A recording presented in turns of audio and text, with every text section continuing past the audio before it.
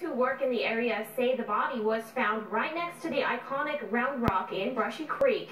Now police are working to find out who the man is and how he died. I work in the Old Town Square, which is the office building back here. Marty Bender says something seemed off when he made his way into work Thursday morning. Our office looks out across into that uh, green space, and there was a Jeep type vehicle that was parked there. That it's not normally anybody parked there because it's kind of private property. Just a few hours later, he knew his instincts were right. The police were down here. They closed the road here that drives by um, the, the Round Rock, and uh, both sides they have it taped off.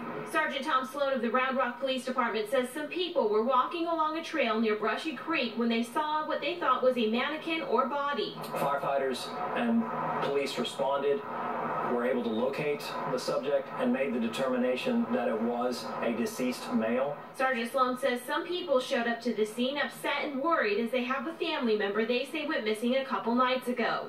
The Jeep found near the park is related to the man and was towed away according to Sergeant Sloan. And he also says they're not sure how long the body has been there, but this is normally a safe area where many people go on a daily basis. I would like to say it's a safe park. Uh, there's people walking every day. There are dads and their children fishing in the park. Um, it's for any other park in the city.